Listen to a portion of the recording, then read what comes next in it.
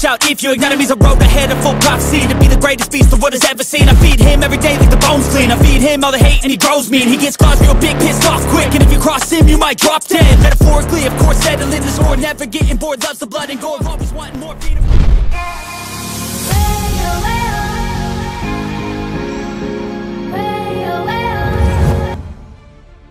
sebelah sarangan prajurit TNI di pemilu 2024 di area TPS hingga sambut kontestan.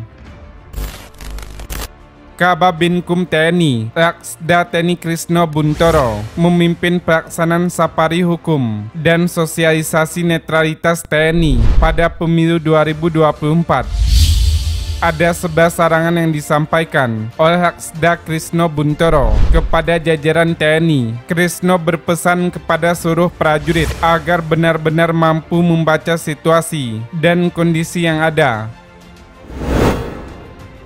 dengan demikian, kata dia, sebisa mungkin meningkatkan kewaspadaan, prediktif, dan langkah antisipatif dalam rangka menjaga serta memelihara kondusivitas, netralitas, dan soliditas TNI, serta sinergitas dengan seluruh komponen bangsa.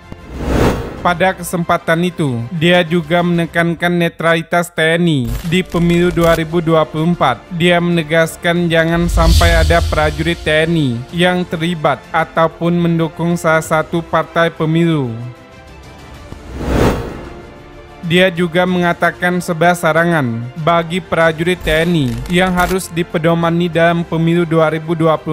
Berikut ini ke sebelas sarangan prajurit TNI satu memberi komentar, penilaian, mendiskusikan, pengarahan apa pun berkaitan dengan konsisten pemilu dan pilkada kepada keluarga atau masyarakat. Dua secara perorangan dan fasilitas berada di area tempat penyelenggaraan pemilu dan pilkada Tiga menyimpan dan menempel dokumen, atribut, benda lain yang menggambarkan identitas peserta pemilu atau pilkada di instansi dan peralatan milik TNI.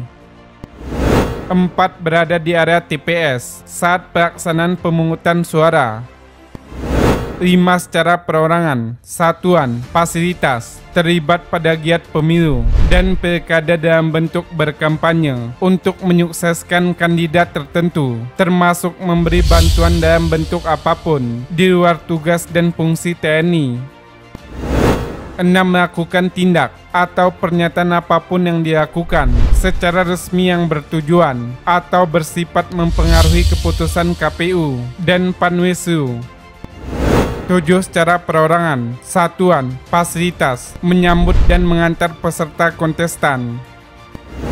8. Menjadi anggota KPU, Panwasu, Panitia Pemilih, Panitia Pendaftar Pemilih, Peserta, atau Juru Kampanye. 9. Terlibat dan ikut campur dan menentukan penetapan peserta pemilu, baik perorangan atau kelompok partai. 10. Memobilisasi organisasi sosial, agama, dan ekonomi untuk kepentingan parpol atau calon tertentu.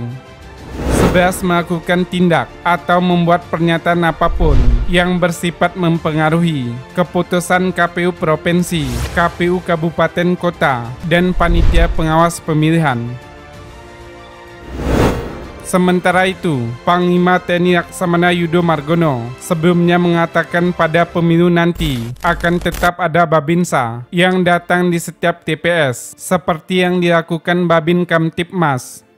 Dia mengatakan kehadiran Babinsa dan Babin Kamtipmas utamanya ialah menjaga proses pemungutan suara berjalan aman